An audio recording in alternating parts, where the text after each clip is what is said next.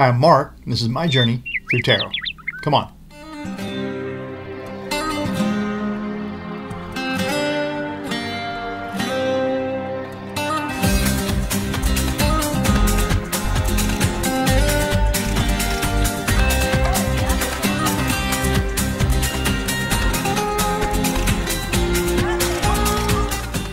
So, Tom Barrack. So this is a fellow who's been Trump's friend for 40 years, they say, and he's a billionaire and uh, came from very modest um, uh, beginnings and then just made a fortune really quickly and uh, has been involved in the U.S. government, has been important people, an important person uh, in uh, in uh, making deals across the world. So let's see what um, the cards have to say for um, this fellow who's just been indicted. As a matter of fact, he was put in jail and posted um, bail.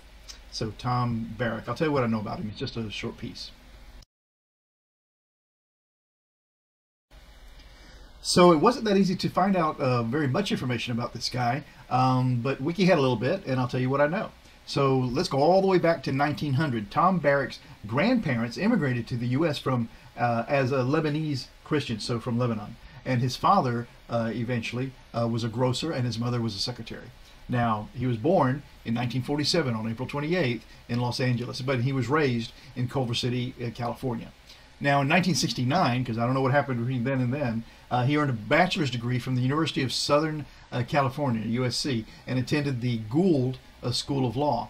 Uh, then in 1972, uh, he got a Juris Doctor from the University of San Diego Law School, also associated with USC.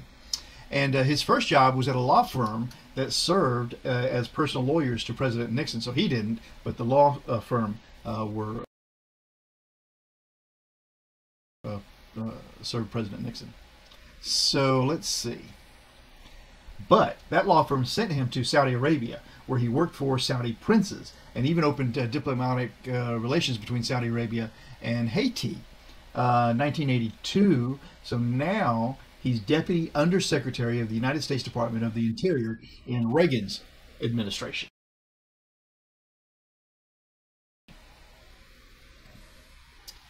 And um, he had to testify before a congressional committee regarding a gift he had paid to the purchaser of Reagan's Attorney General's house. So he paid the fellow who bought Reagan's Attorney General, he gave him his house, or maybe he bought the Attorney General, but anyway, uh, the fellow who bought the Attorney General's house, uh, this uh, rich fella gives that purchaser of the house a gift. Um, in 1985, he sold Trump a one-fifth stake in the Alexander's uh, department stores. And in 1988, Trump agreed to pay, um, no, this is wrong. In 1988, he, oh no, this is what it is. In 1988, Trump agreed to pay him, uh, Barrack, uh, 410 million for the Plaza Hotel. I'm sure there was no cash involved. I don't know, I'm just guessing, but probably all on paper. 1990, Barrack founded Colony Capital and achieved 50% profits in his first two years on distressed properties. So 50% profits in his first two years on distressed properties. That's, you know, you have to look at that and say, wow, how did that happen? Um, he has 200 million in Middle East uh, real estate, uh, 534 million in non-performing German real estate loans, and also owns uh, Neverland Ranch, you know, Michael Jackson's home.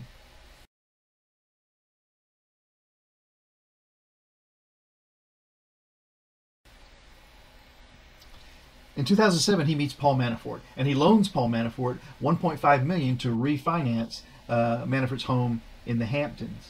Uh, 2010, Barrack bought 70 million of Jared Kushner's debt on that building that is 666 uh, Fifth Avenue. Kushner later avoided bankruptcy when Barrack then agreed to reduce Jared's obligation. Remember, well, anyway, as requested by Trump. Uh, then let's see, let's go to France. French President Nicolas Sarkozy uh, awarded him France's Chevalier de Legion d'Honneur. I don't know how to pronounce that in French. And um, 2011, he has an estimated wealth of 1.1 billion US dollars. Now, 2016, Barrack endorsed Trump and was a major fundraiser through a super PAC, which raised $23 million. he recommended that Trump hire Manafort as campaign manager and reassured uh, a UAE ambassador. You know, that's the United Emirates uh, Emirates uh, country, UAE, um, well, I guess they're a, a union of countries, uh, ambassador that Trump had investments in the UAE, and he speaks at the national, the Republican National Convention, and helped set up a meeting between Trump and the Emir of Qatar at Trump Tower. And uh, after Trump became president, uh, Barrack as, uh, acted as a middleman between him and Arab princes. Also, this is the year that his wife divorces him, and they have six children. Uh, they didn't have them all that year. They had six children, and they got divorced. Just to be clear. So, uh, on 20 in 2017, uh, he serves as chairman of the Trump Inauguration Committee and raises over 100 million dollars. Plus, he hired Rick Gates to help run the inauguration, and uh, and then Rick Gates was also a consultant for Barrack's uh, company. But Gates was fired in 2017 in October when uh, he was indicted.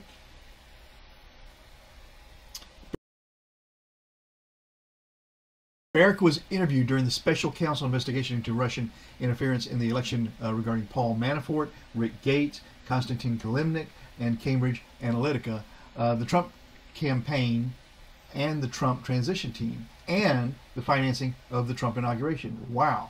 So all of that. Now in 2019, Mr. Barrack shared a draft of Trump's energy policy speech for approval on the pro-Gulf region language he shared that with Rashid Sultan Rashid Al Malik as Hani. As Hahi, I don't know, but he was a, he's a UAE official. Uh, and uh, and the and the draft was further circulated among Emirati and Saudi officials for further approval.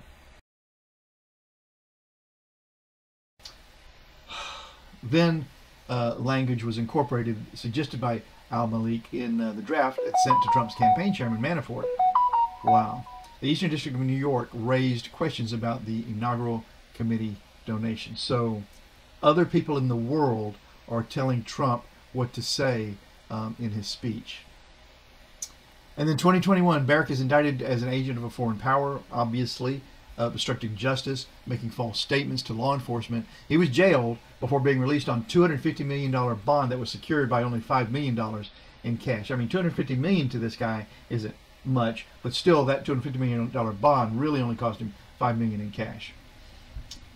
So, gosh, I don't know. Do you think something's going on there? Do you think he's been groomed uh, all these years of employment by the uh, Saudis for this very moment that he finally uh, came to realize?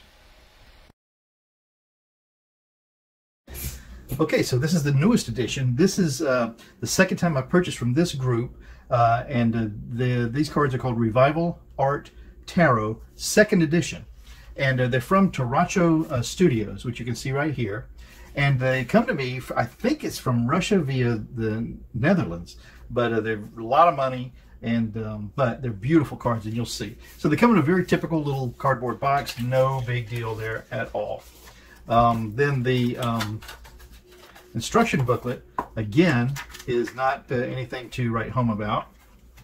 It's just a typical little instruction booklet. The one good thing is that it is easily uh, read. And uh, in the uh, regular, uh, in the lower Arcana cards, they've got an extra card in each uh, suit. So, you know, you've got cups, wands, swords, and uh, I can never think of the fourth suit off the top of my head. Pentacles. But so you, they go all the way to the Ten of, of, Swords, for instance. The next one then should be a page, but here we have a Princess of Swords. then after the Princess of Swords, you still get the page, the knight, the queen, and the king. So you have one extra card for each of those four suits. So instead of 78, uh, 79, uh, 80, 81, 82 cards total in the pack. So that's interesting. So if that princess um, confused you, you could just take those four cards out and use them for some special occasion or never use them at all, or put them in there. And uh, this gives you an idea of how to divide the extra card. Uh, so very interesting. Then the cards themselves, they're really good stock uh, once you get them broken in, and what I mean by that is, you know, when they come off uh, production, they're really pressed together, and there's no air between the cards, and you can't hardly get between them. So it takes a little bit of shuffling and, and getting them uh, some air between the cards uh, before they're usable, really, and, uh, and not sticking to each other. And then the back of them is beautiful, and I haven't discovered anything particularly unusual about the back. um, except maybe until this very minute. Let's see. If you have the cards this way, you'll notice that there's a very small little rose right here. So if you see that small rose here up in the right hand corner, then you know this card is going to be upright as it should. However, if this card was inverted, that small little rose becomes two roses. Okay, so if you see it two roses up here rather than one, then you know that card is going to be inverted. So that's the example. Uh, I like knowing that. I don't know. It just gives you a little edge uh, when you're dealing the cards. And now I can straighten them out and not have to turn it over. I know that this, this is uh, inverted and this is straight. Now, to look at this art is amazing. And each one of these is a work of art that's referenced in the guidebook. For instance, uh, if I look at this uh, Fool, number one, of the Major Arcana, and it tells me that the Fool uh, is, in fact, the name of that piece of art is called A Jester by Philippe Mercier. And, um, and then it gives me the uh, divination for the card, uh, beginnings, uh, possibilities, pleasure, etc. The next card, The Magician, if you were to see that one, that is a work of art called The Astronomer by uh, Candlelight. The Astronomer by Candlelight, and it's by, I guess it's going to be Gary Du. So uh, my foreign pronunciations aren't very good, but I do give it a try. So the cards themselves, you can see they go right to the edge of the card. They're beautiful pieces of art. And thought has gone into choosing these cards for the um, uh, position they stand for.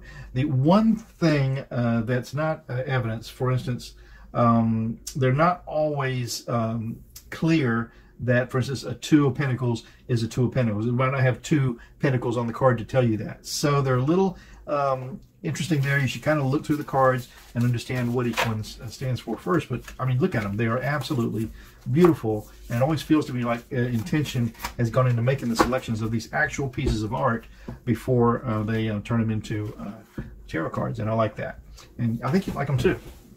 So this fella is something else. So Tom Barrack. Tom Barrack. I mean, he's, he's very modest of uh, beginnings and upbringing. Uh, gets hooked up with exactly the right law firm. I mean, when they sent him to um, Saudi, I mean, he became like a, um, par, a game a game partner for one of the princes there. Um, so almost like his his lackey. I don't know. Um, and then all of his life has been part of um, understanding uh, that uh, culture, and uh, then he comes back and he is involved in the United States government. Good grief! He just had a charmed life in that respect. He was always going to be the uh, linchpin, the the peg um, in the in that, that transferred uh, the wishes of the Saudis to the United States. It seems like. I mean, in the Nixon administration, in the Reagan administration, the Trump administration. I mean, you don't see these people involved in Democratic administrations. Um, why is that? Um, you tell me. So, I don't know. It all just makes me feel very uncomfortable. You know, as a matter of fact, I'm going to have to take a minute and kind of um, reinforce. I usually say uh, a little, uh, you can say a prayer. Uh, there's three of them before I do a draw, and I need to refresh that. So I'm going to uh, pause this tape while I do that. Yeah, just felt compelled to kind of refresh uh, my psyche. Um, so we'll just get right to it. Uh, Tom Barrack, what are the questions going to be? The questions for Tom Barrack were going to be, have you been uh, groomed and in concert with this uh, these Arab uh, nations uh, all along? Have you been, been groomed and in concert with these Arab nations all along?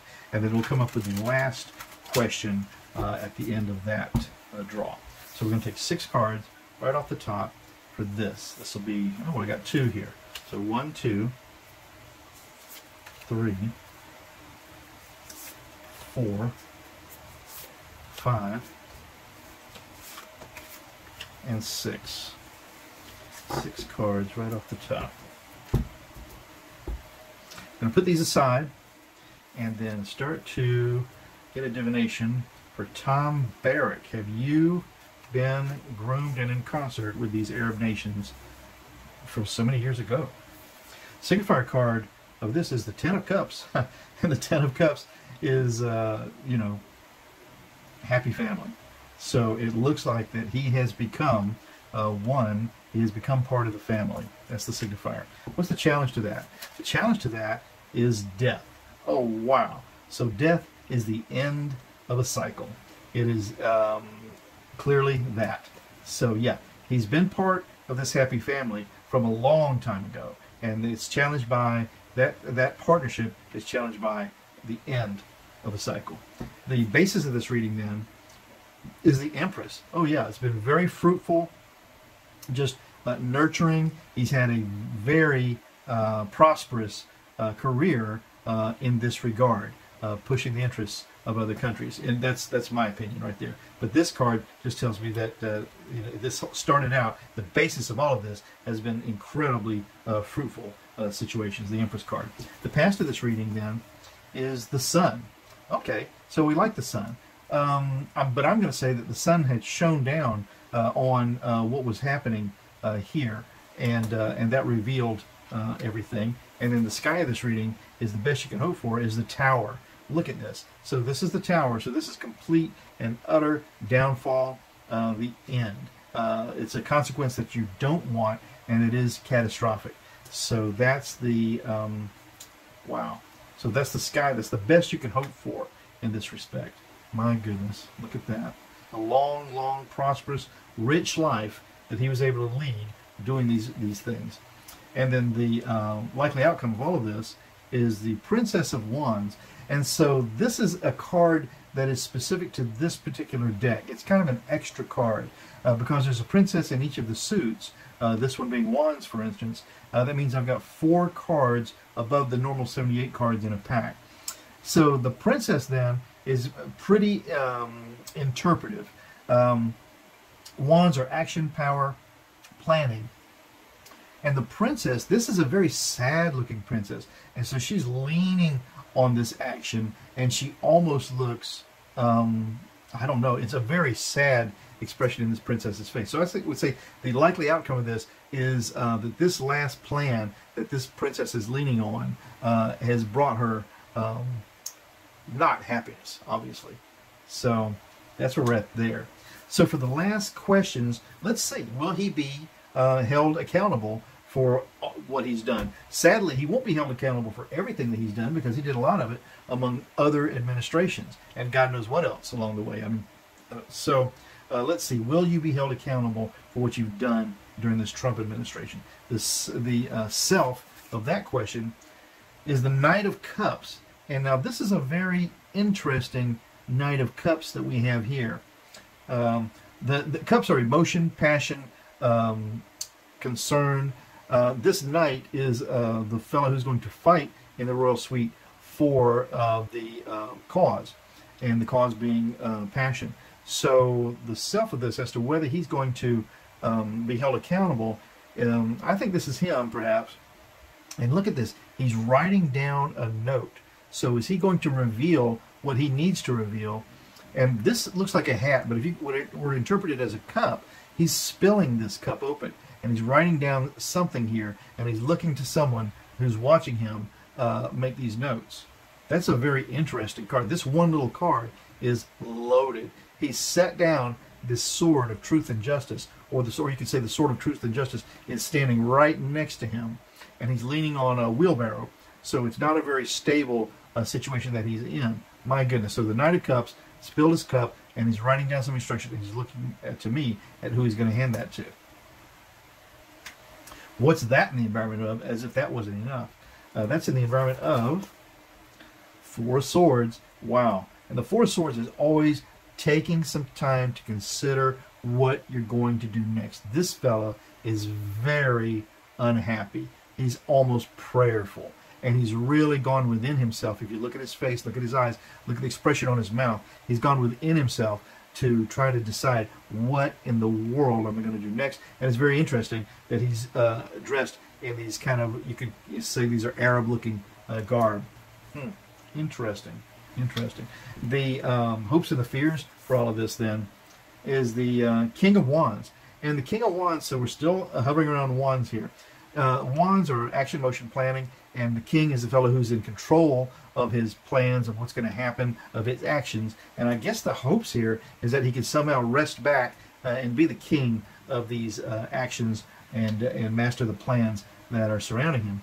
And then the likely outcome of the whole thing then is going to be partnerships, the lovers. Oh yeah. So yeah, look, this fella is looking at her book, looking at what's written down. She's a little reluctant looking in this uh, relationship, uh, it seems to me. And this uh, uh lover looks very enthusiastic. Look, he's wrapped his arms around her. He's referencing um, the uh, knowledge that's in this uh, tome that she's holding. So, yeah, I say the likely outcome is that there's going to be partnerships and something's going to reveal to someone who's very eager to get it. Man, that for me was a very clear uh, reading. So I'm pretty happy that I took a minute to just kind of refresh uh, myself uh, with a little meditation uh, before I started this reading again, and it looks like it paid off. Uh, for me, that's how it looks to me anyway. But I'll go over again. What happened here is um, so we started out uh, with the Ten of Cups, meaning that you're part of the family. You know, it's all happy family, everything's wonderful, and you are um, there, right in the middle of it. Uh, so for me, that's his uh, relationship with uh, the Arabs. Um, it's challenged by what? It's challenged by death. Death is the end, end, end of a cycle. Of course, something new has to start after that, but yeah, it's challenged by the end. Uh, it's underpinned uh, the by Empress, very fruitful. So he's had a very fruitful existence, non-stop since all this began. So why wouldn't he think that was the way to go? the past of that reading then is the sun. So you know everything uh, being um, you know enlightened. Uh, the uh, sky of that reading was also the tower. So you know just complete utter downfall, not something that you want at all. And then the likely outcome of all of that turned up to be this page uh, or this princess of wands. And if you look at this princess, she's not happy. She's leaning on those plans that that wand, and not sure um, you know about how to proceed. It seems like to me. The um, then the self of the reading, the last four parts of that, we said, what is the self? Is he going to be accountable for it? And we come up with this Knight of Cups, and it's very interesting that this knight is cup. It's his, looks like it's his hat, but if you interpret it as a cup, his hat is sort of spilled over. He's writing some notes on top of the hat at the last minute. He's propped up on a wheelbarrow with the, the sword of uh, truth and justice uh, at his side. Let's see if I can do this in the reverse image of the camera and uh, he's looking back on whom it looks like he's going to give that information to. And uh, that's in the environment of what? The Four of Swords. And the Four of Swords is always, always taking a beat to very be very careful about your next step. And this guy doesn't look happy about what he perceives to be his next step. Um, the sky of that reading is the King of Wands, which is the hopes and the fears, and of course he hopes that he's able to master uh, those plans and become king of those again. And uh, maybe in some respect he does because the final outcome is the lovers, and uh, the lovers, uh, the fella is very anxiously um, uh, in, um, involved in the messages in that book that this uh, hesitant partner is um, is showing him. My goodness, I think it's clear. he's going to do what he can to save himself and his money. I'm Mark, My Journey Through Tarot. Tomorrow's another day. Stop by, we'll do it again. Ciao for now.